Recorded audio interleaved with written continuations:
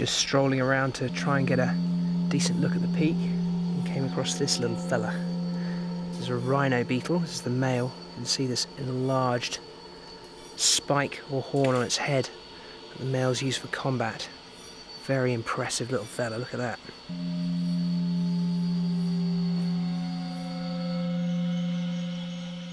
Oh, oh, oh, oh! We've got basically everything in here. We've got herbivores, scavengers, we've got carnivores eating them. It's a whole little ecosystem. George has crawled 20 metres into the rotting tree.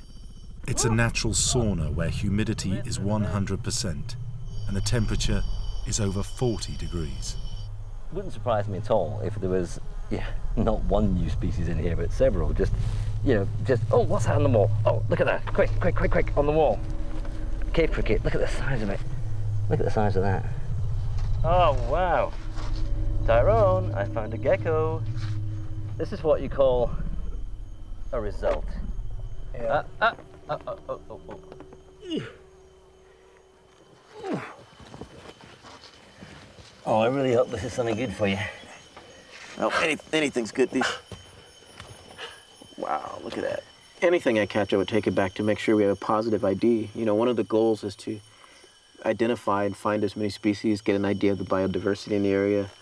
Mm. You know, and we're releasing everything. It'll it'll come back home exactly where we caught it. The elephant's trail has led Tara and Gordon to the very edge of the jungle and to clear signs that humans are nearby. No hunting here. So this is a this is an illegal device.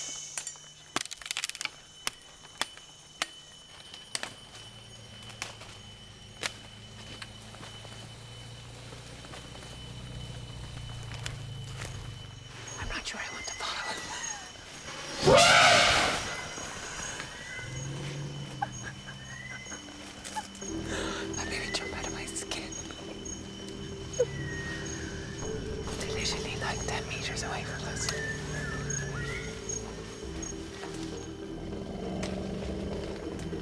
There's something wrong. The young male before them appears agitated and could charge. Bert edges forward alone and stands his ground.